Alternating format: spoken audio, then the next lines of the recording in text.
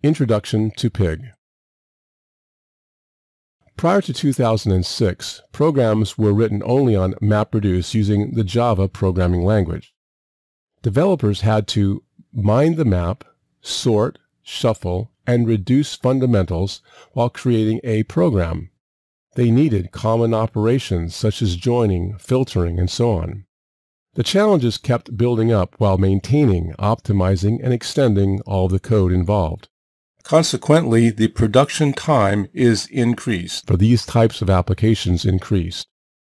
Also, data flow in MapReduce was quite rigid, where the output of one task could be used as the input of another. To overcome these issues, Pig was developed in late 2006 by Yahoo researchers. It later became an Apache open source project. Pig is another language besides Java in which MapReduce programs can be written. So what is Pig? Pig is a scripting platform that runs on Hadoop clusters designed to process and analyze large datasets.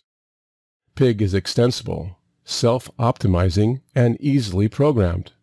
Programmers can use Pig to write data transformations without knowing any Java.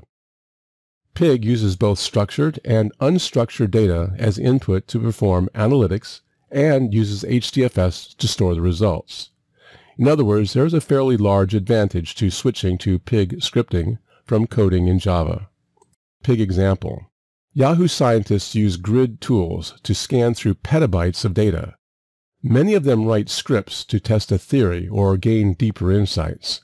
However, in the data factory, data may not be in a standardized state.